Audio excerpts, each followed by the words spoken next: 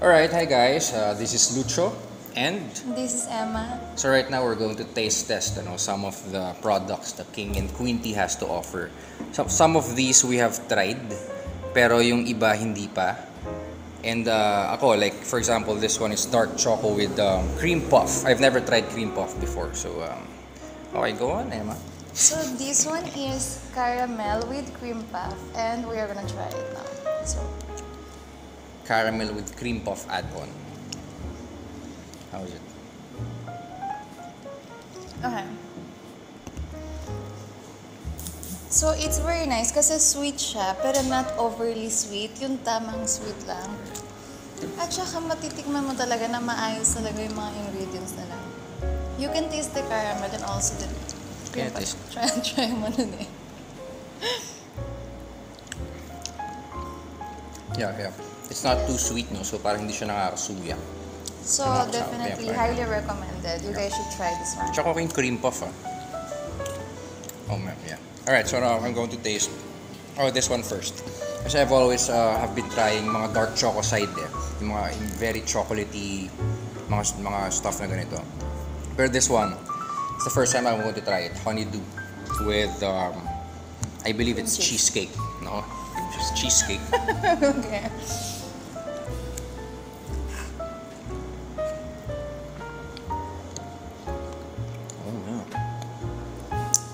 I'm mind blown. Yeah. No, no, no, seriously, no joke, no joke. Then try it. Yeah. Honeydew. It's a fruit, no? If I'm not mistaken, no? It's a fruit. Okay. No, I like this one because it's on the sweeter side.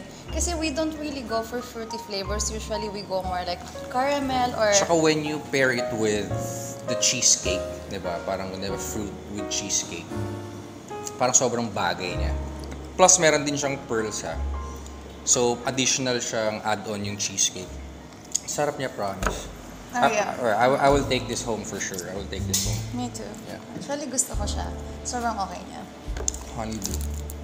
Yeah, for sure next time I'm going to order this. Okay. Next, next Oh. up is... Madami akong cheesecake na kuha, sobrang sarap. Okay. So this one is... Ano? Oh my God. Okay. Taro with uh, cheesecake. Taro. So we're gonna give it a try.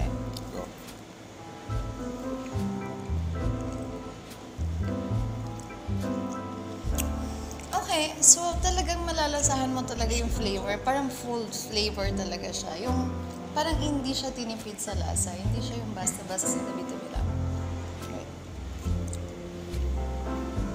Second sip, guys. No, and what I like is... Try. Sorry ang kalat ko ngayon. What I like also is yung tapioca niya. Nakakaaliw siyang kainin. It's one of the best parts also of the drink. Besides from the flavor, yung mga kasama niya talaga ng tapioca. I love. What do you think? It tastes like, cake. Para siyang cake. Para siyang Mm-hmm. ubi cake na, na may toppings na... With cheesecake.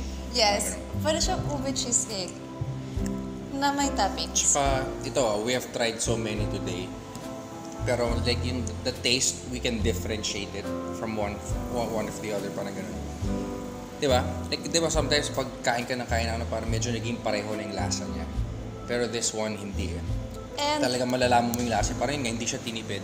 yeah. Yung lasa niya talagang, kung ano yung sinabi niyang flavor niya, yun talaga yung flavor niya. And one more thing guys, kasi Lucho and I, hindi talaga kami mahilig sa milk tea. But since we discovered King and Queen tea, naaaliw kami. Like sometimes nag-crave na kami sa bahay.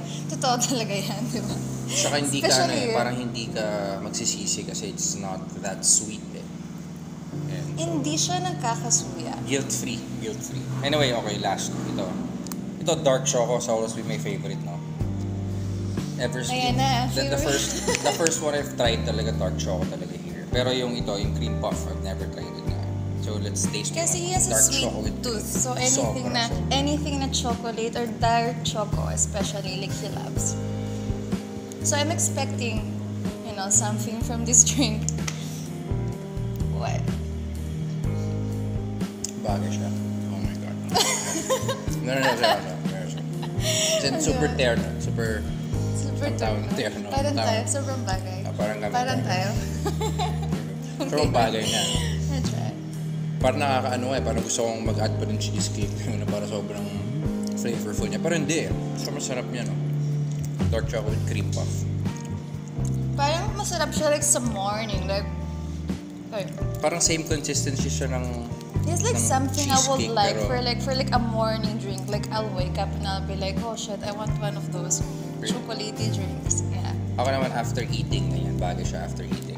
And kasi sa Spain, we have this drink. It's called Nesquik. So it reminds me of this chocolate drink in Spain. It reminds me of my childhood a little bit actually. So yun guys. You're taking it home? Yeah, taking all of this home. Kamaya din after dinner.